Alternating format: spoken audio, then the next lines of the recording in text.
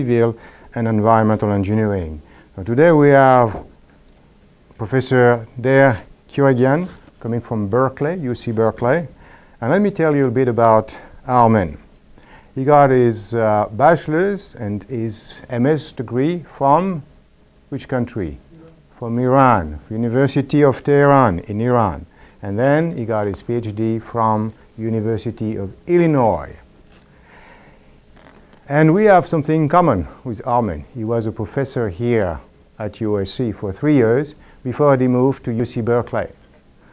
Um, I was reading his list, his CVs, his long list of achievements, and I won't be able to because we have we need some reserve some time for the seminar. But uh, he is a member of the uh, of ASC, member of ERI, member of the uh, Seismological Society of America. He is also uh, the a member of the Civil Engineering Risk and Reliability Association called CERRA, and I think he served as a president of CERRA in, in a few years, in a few years ago. Um, he is a recipient of many awards, uh, including the ASCE Walter Huber Civil Engineering Research Prize, the CERRA Award, the ASCE Alfred Freudenthal Medal, and the ASCE Thomas Middlebrook Awards. He is also elected as one of the distinguished alumni of University of Illinois. Uh, one thing I didn't tell you, he served as a dean of at the American University of Armenia for 16 years, wh while he was holding at the same time a position at UC Berkeley. And he has created a new term, a new word for this kind of deanship across continents. He called himself a e-dean because he was using email a great deal. so we are very fortunate to have Armen today. So Armen uh, is really an expert in the area of structural and system reliability, risk analysis, stochastic structural dynamics, and earthquake engineering. So we are very fortunate to have Armen among us today, and please welcome Armen, Professor Dirk. Thank you very much. Do I need the... Need to be wired. Yes. So that's for your pocket. And you clip. And you Yeah. clip through. Just here. This place. That's it. Thank you very much, uh, Jean-Pierre, and I'm very glad to be here. Thank you very much for the invitation. Uh, this, I, I, I would have liked to say that I know this place, but this morning I had hard time. Uh, it has changed so much. You know, we used to be in the other end of campus, uh, and campus has changed a lot.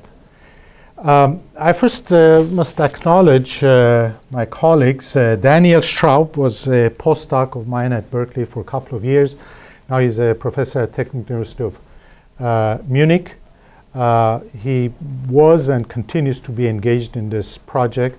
And Michelle Bensi is the one who does the work. She's a doctor student, and uh, um, much of what I present is based on the work that uh, she's done under both my and Daniel's um, supervision.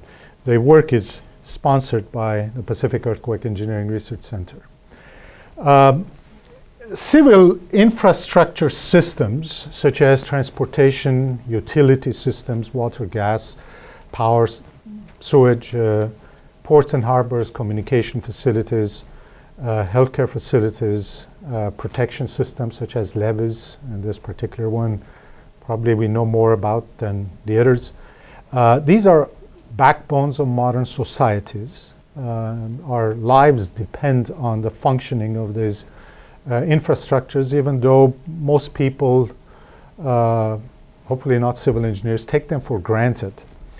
Uh, these, in many places, are vulnerable to earthquake hazard, and in the case of uh, failure, may cause severe uh, direct and indirect consequences.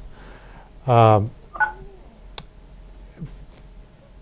so, to address in problems such as assessing the risk that is involved or making decisions, uh, there is need for and allocating resources for these kinds of efforts.